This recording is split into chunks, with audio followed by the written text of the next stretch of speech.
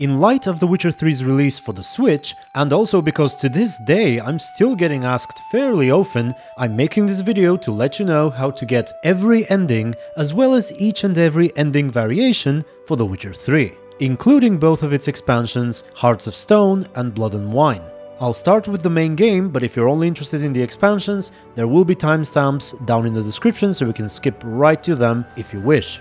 It will be spoiler free in the beginning, but eventually there will be spoilers and I'll warn you in advance. Alright, despite the many small variations, which I'll address later, The Witcher 3 has three main endings. I'll call them two good ones and one bad. Even though it's entirely up to you to decide which one is good and bad, I'll just call them this way for convenience. So there are five choices throughout the game that determine which one of the major endings you'll get. One of the five is optional or skippable, so you can potentially have four determining choices. In order to get one of the two good endings, you'll need to make three right choices out of the four or five available. And to get the bad one, just do the opposite. Now, here are the five choices. Number 1 is right after the Battle of Kaer Morhen. Ciri will get upset that her training with Avallac'h is not going anywhere, and Geralt has two ways of responding to her. The quote right decision is to choose to play snowballs with her, and the wrong one is to tell her that she doesn't need to be good at everything and to have a drink together. Once again, I'm calling these choices right and wrong for pure convenience, you may feel the opposite is true for you.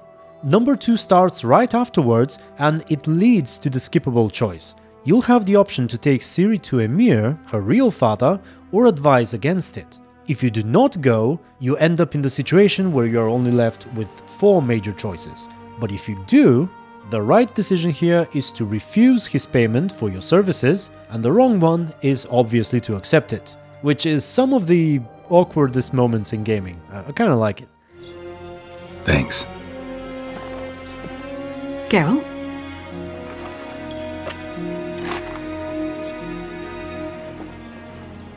Ten, 20, 30, 40, 50, 60, 70, 80, 90, and that makes an even 100. That is all of it.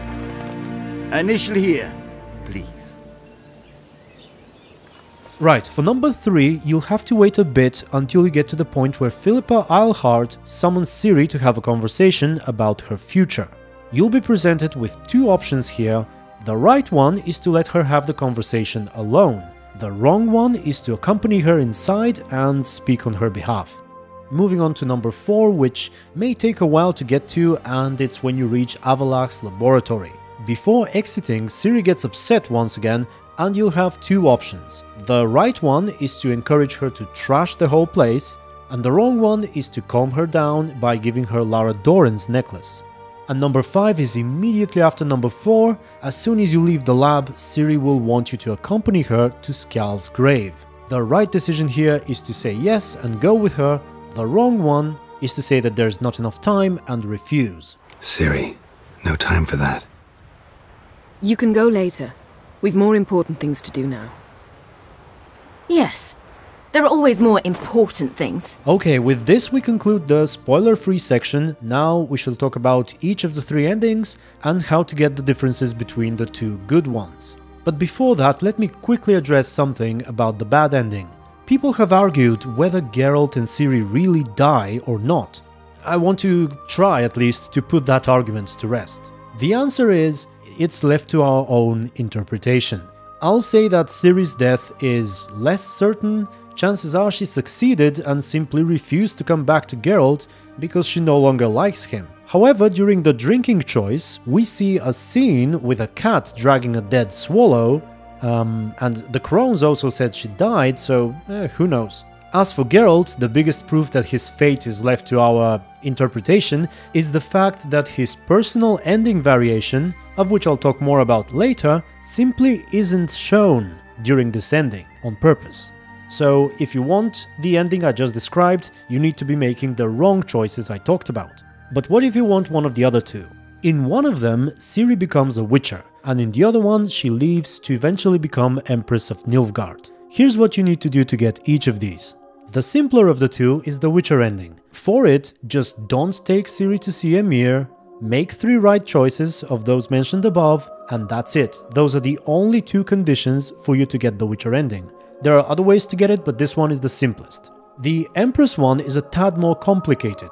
For it, in addition to the three right choices you'll have to make, you also have to take Ciri to Emhyr and ensure that he wins the war in the end. Because if he doesn't, even if you took her to him, she'll once again become a Witcher. So how does he win the war? Well, you have to do two things. First, kill Radovid. The quest chain for which starts way early when Dijkstra comes to talk to you after you solve the mage problem with Triss. And after that, you must also make sure that Dijkstra isn't the one who rules the north, meaning you have to side with Roche when the time comes for it. So to sum it up, if taken to Emhyr and if he ends up winning the war, Ciri leaves to become Empress. And if one of these conditions aren't met, she'll once again become a Witcher. Again, provided that you had three right choices out of the four or five available. Okay, we're done with the main endings. Let's talk about the minor variations now. I'll call them epilogues for convenience. So let's start with Geralt's epilogue. He has three or four, depending on how you look at it. The first one is of him being alone on the path. This happens if you either do not romance any of the two sorceresses or try to romance them both. The second one is with Yennefer. This happens if you tell her that you still love her during her personal quest called The Last Wish and also let Triss leave Novigrad. The third is with Triss. To get it, you have to either skip doing the last wish altogether or tell Yennefer that the magic is gone if you do the quest. Also, you need to tell Triss that you love her when she's about to leave. Keep in mind that you can have the romance scene with the unicorn in Skellige, and that will not ruin the Triss romance. And the fourth one, if you want to call it this way, is during the bad ending, as I mentioned, as he potentially dies. Right, let's talk about the rulers now. Emhyr has two epilogues, uh, one where he lives and conquers the north, and one where he fails and ends up dying. I already explained how to get those two, and that they are tied to whether Ciri can get her Empress ending or not. As for Radovid, if he lives, this happens if you simply do not do the quest for his assassination, he gets his own triumphant epilogue, which is accompanied by Emhyr's death. If Radovid dies, but you side with Dijkstra and not Roche, he is the one who ends up ruling the north, and once again Emhyr dies.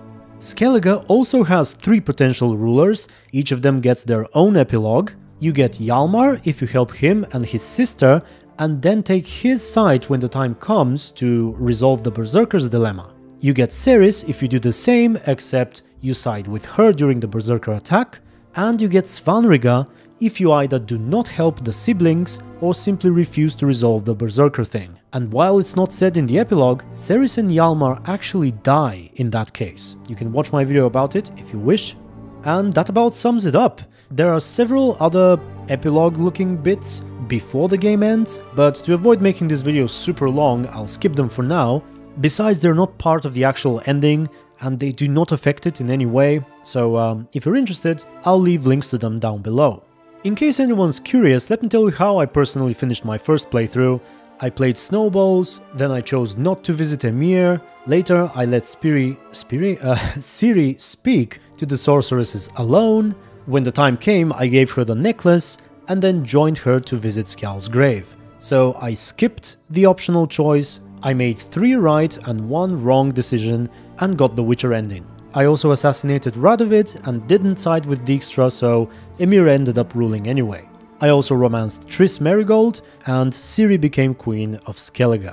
I'll give you a minute to quickly write a comment about how my choice of romance was wrong, or if not, to perhaps give this video a like if you've enjoyed it thus far, and subscribe to my channel if you haven't yet done so. Alright, now Hearts of Stone, The Witcher's first expansion. Best $10 I've ever spent. There are two endings, both with one small variation. The first ending is where you let Gaunter O'Dimm take the soul of Olgierd, and it is achieved by refusing to interrupt Gaunter O'Dimm or by not talking to the old professor before the ending. In this case, you won't even have the interrupt option. That ensures that O'Dimm takes the soul of Olgierd and rewards you with one of several things. If you want, you can check a video in the description about each and every reward, and the variation I talked about here is if you play the expansion before the Battle of Kaer you can actually ask the Man of Glass for one extra thing, namely how to find Ciri. He says that you will certainly find her, but you'll have to be concerned of other things, and basically tell you how to avoid what I called the bad ending.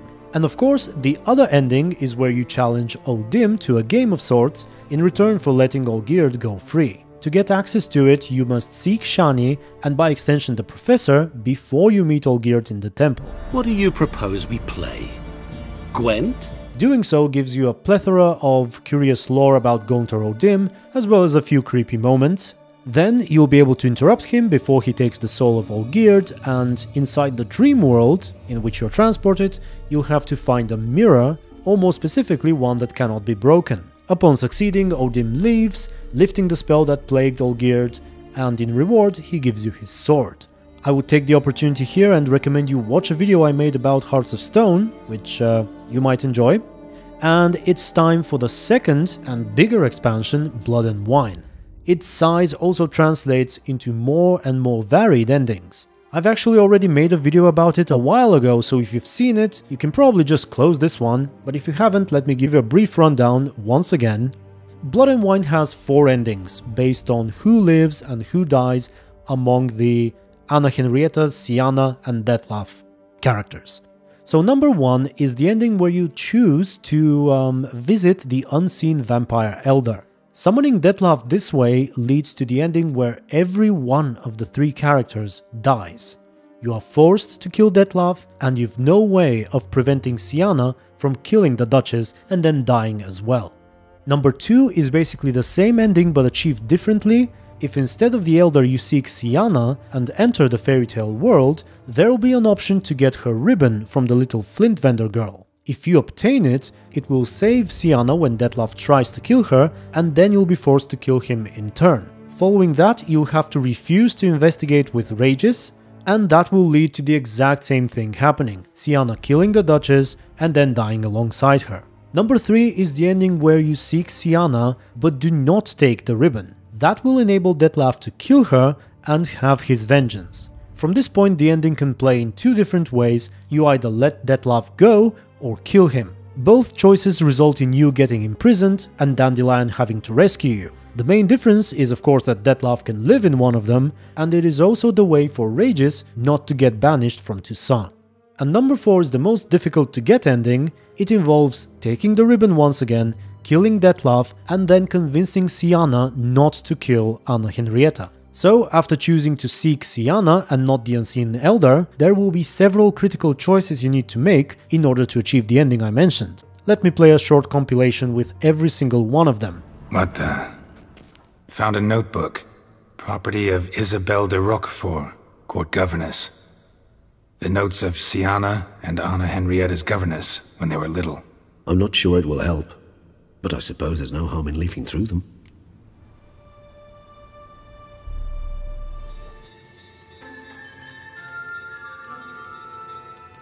Came to free you. Nice of you, but a waste of your effort. I plan to free myself. You might, you might not. Bound to be easier with my help. Give Syanna the ribbon. Why not, huh? Sugar plum. The only thing I hand out for free is a first hit. To get them to come back for a second, of course. Well, since you brought it up, I'd gladly hear the rest. Let's see. They had escorted you out of the duchy. Yes. All in all, why not check up on that? We'll go together. Assuming we're done here. I am done, yes. It's a matter of importance to the duchy. Hand it over, or I'll take it from you, plain and simple. But I was to deliver it personally.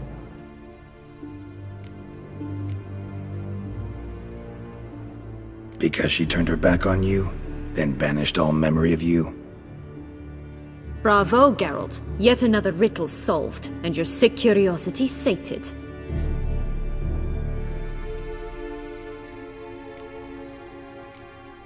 Perhaps, just for a second, you could stop dwelling on all the wrongs folk have done you and forgive her.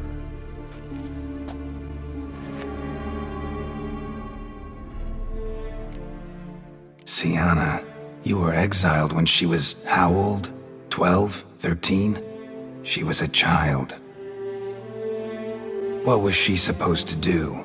Rebel? Organize a coup? Steal your father's seal and forge a pardon? She was powerless. Wiped you from her memory not because she didn't care, but because your departure was traumatic for her. She forgot because that was the only way she could handle the pain. Ugh. You really want a happy ending, don't you? Ah, with all of us living happily ever after. Go, Witcher, or they'll give your medal to another. And that would be a shame. Farewell, Syanna.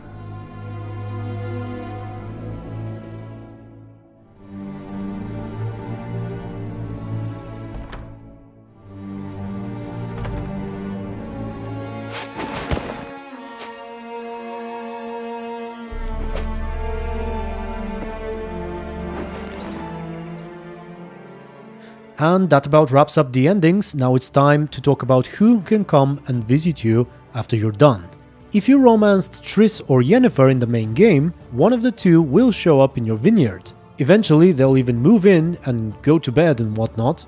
If you didn't romance anybody or attempted to romance both, and if you got one of the good endings, Ciri will show up to visit you. If she became a Witcher, that version of her appears, and the opposite is true for the Empress ending. And finally, if you did not romance anyone and got the bad ending, your good friend Dandelion shows up to see you. There are some small variations within his visit based on whether you were imprisoned or not in the end of Blood and Wine, as well as whether or not you completed the Cardinal Sins quest, of which I've made several videos actually. Also, let me point out that if you haven't finished the main game, the quest where somebody visits you will not trigger until you do. And if you haven't yet freed Dandelion in the main game, you can't even start the Blood and Wine expansion. Okay, and I think with that, we are done. I hope this video was helpful. I wish you all luck in getting the endings you desire in The Witcher 3, be it on the Switch or otherwise. I thank you very much for watching, special thanks to my supporters on Patreon and YouTube members, and until the next video, stay tuned and be good.